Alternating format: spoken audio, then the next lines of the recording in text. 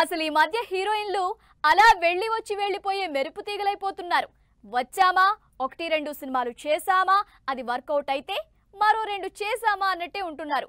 కానీ ఇలాంటి హీరోయిన్లు ఎంతమంది ఉన్నా వాళ్ళని దాటి తన హవా నడిపిస్తోంది రష్మిక.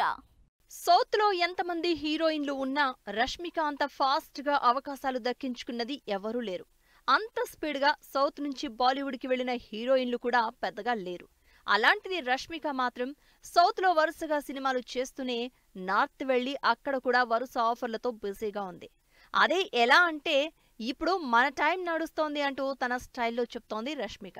రష్మిక సౌత్లో వరుసగా స్టార్ హీరోలతో సినిమాలు చేయడం లక్కీగా మ్యాక్సిమం సక్సెస్ రేట్ రావడంతో నిర్మాతలకు లక్కీ మస్కట్ అయిపోయింది ఈ బ్యూటీ. దాంతో తెలుగు తమిళ్ళో సినిమాలతో ఫుల్ బిజీ అయింది. రష్మిక తెలుగులో మహేష్ బన్నీ విజయ్ దేవరకొండ నితిన్ ఇలాంటి స్టార్లతో పనిచేసింది స్పెషల్లీ బన్నీతో చేసిన పుష్పతో పాన్ ఇండియా హీరోయిన్ అయింది రష్మిక. ఇప్పుడు పుష్ప టూలో కూడా బన్నీతో హీరోయిన్గా మరోసారి రెడీ అవుతోంది. శ్రీవల్లి స్పీడ్ ఎక్కడా తగ్గడం లేదు. తెలుగు తమిళ్ హిందీ ఇలా వరుస పెట్టి సినిమాలు చేస్తోంది. రష్మిక ప్రస్తుతం పుష్ప టూతో పాటు పాన్ ఇండియా మూవీ రెయిన్బో సినిమాలు చేస్తోంది. వీటితో పాటు ధనుష్ శేఖర్ కమ్ముల కాంబినేషన్లో తెరకెక్కుతున్న సినిమాలో కూడా హీరోయిన్గా రష్మిక ఇంటెన్స్ రోల్ చేయబోతోంది.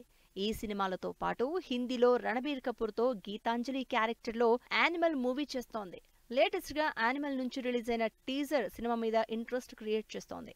సౌత్లో స్టార్ అనిపించుకున్నా ఇన్నాళ్ళుగా బాలీవుడ్ సినిమాలకు పెద్దగా రెస్పాన్స్ లేదని ఫీల్ అవుతోంది రష్మిక. యానిమల్ శాంపిల్ చూశాక ఈసారి రష్మికకి సాలిడ్ హిట్ రావడం గ్యారంటీ.